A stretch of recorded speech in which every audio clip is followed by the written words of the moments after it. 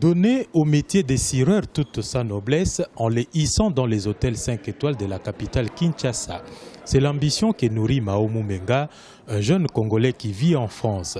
Depuis trois ans, à cheval entre Kinshasa et l'Europe, ce jeune entrepreneur a installé son activité au Kempeski Fleuve Congo Hotel, l'un des plus luxueux hôtels de la place. Dénommé la maison du cirage, ici, le métier est exercé dans des conditions requises loin du calvaire qu'endurent les cireurs de la rue. Cireur ici à Kinshasa, c'est un métier au fait qui est plus ou moins euh, laissé à l'abandon, sachant que c'est un métier comme tous les autres. Il y a des, diplomates, il y a des, des médecins, il y a des, des, menuisiers, il y a des plombiers, mais il y a des cireurs aussi. Ben, je crois qu'ils ont aussi besoin de cette chance-là. C'est une initiative novatrice pour ces métiers attribués à tort aux enfants de la rue. Pour ces jeunes, l'objectif étant d'installer une maison de cirage dans tous les hôtels de la place.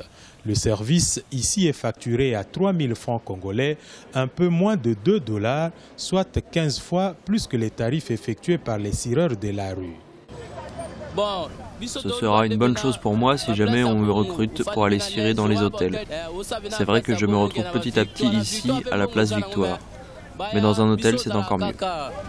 La Maison du Cirage, un projet qui envisage de recruter une cinquantaine de cireurs de la capitale qui seront par la suite recyclés avant d'être postés dans les différents hôtels de Kinshasa. Ceux-là seront certes les plus chanceux quand on considère des milliers de cireurs constitués en majorité des enfants de la rue appelés communément Chegué. Les observateurs estiment que si cette initiative est soutenue et bien encadrée, elle peut contribuer progressivement à l'émergence d'une certaine classe sociale.